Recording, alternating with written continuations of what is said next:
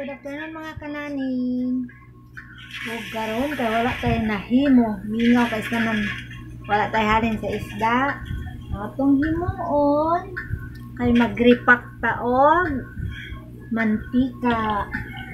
Para pag nay mamalit dali na lang kay nimon matagaan. Okay.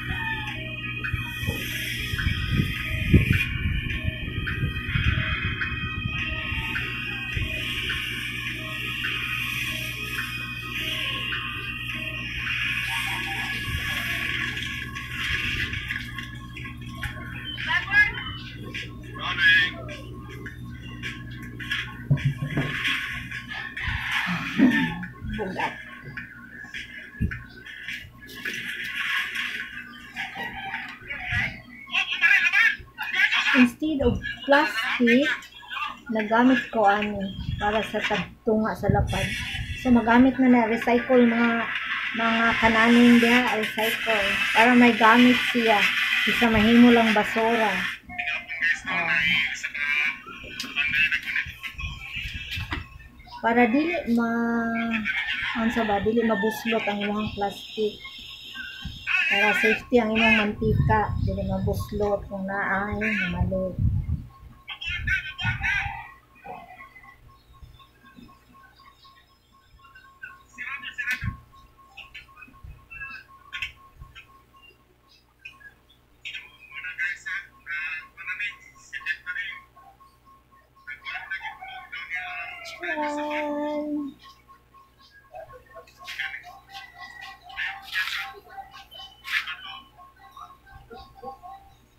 Try. See, tunga na.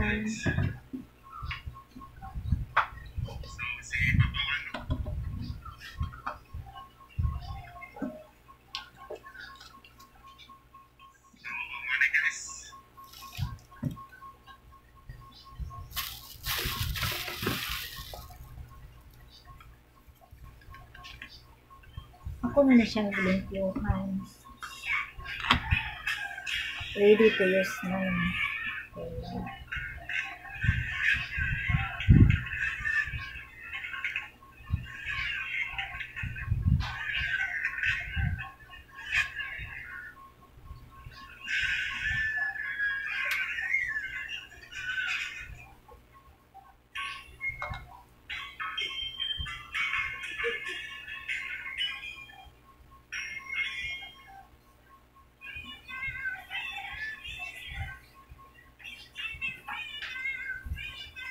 Pero pilihan sa ninyo nga ang nag-inom sa sa soft drinks nga okay ra sad para ma-recycle ang basura.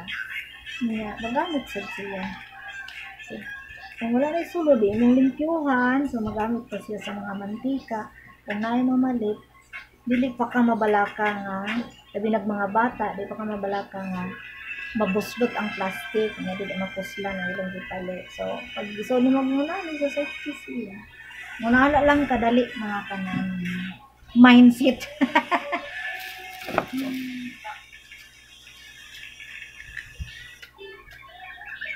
so, kung nakaitindahan di atik advantage kayo mga natong nga mama. O, dito mapalit silang kuan. Ilang pulana. Kaya, safety dito. Dili mayabong imong mantika. O, see?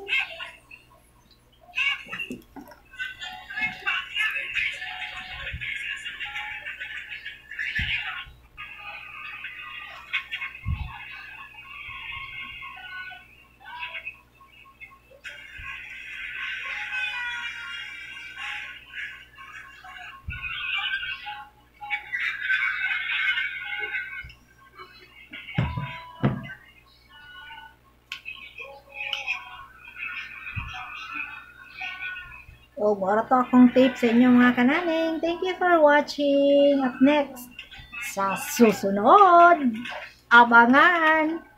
Bye! Thank you for watching.